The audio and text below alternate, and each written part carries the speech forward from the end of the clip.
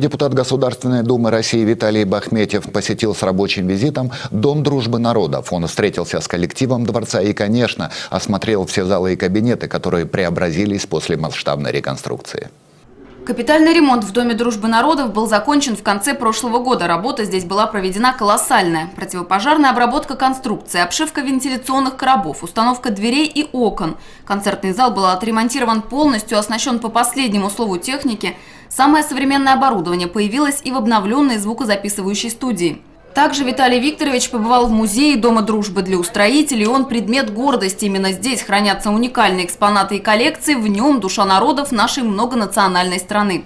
Всего на капитальный ремонт дворца было выделено более 30 миллионов рублей. Причем у истоков реставрации стоял сам Виталий Бахметьев. Еще в 2015 году в статусе главы Магнитогорска он велел начать здесь ремонтные работы. В 2016 был выделен первый транш.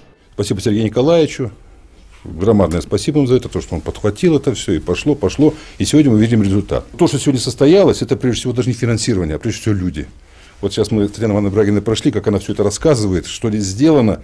И я понимаю, да, вот получаешь удовлетворение от того, что ты сделал своими руками. Здание просто преобразилось. Это и появилась еще одна сценическая площадка в городе Метагорске. Также в ходе визита Виталий Бахметьев встретился с коллективом дворца, принял участие в торжественном вручении благодарственных писем за отличную работу, а также напомнил всем присутствующим, что совсем скоро состоятся выборы президента Российской Федерации и что принять в них участие – наш священный долг. Сегодня 8 кандидатов. Сегодня есть чего выбирать. И наше право выбрать. Но надо прийти и сделать это.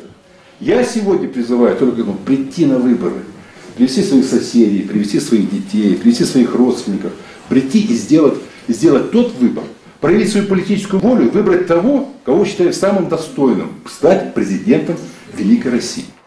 Евгения Салхудинова, Аркадий Стариков, телекомпания ТВИН.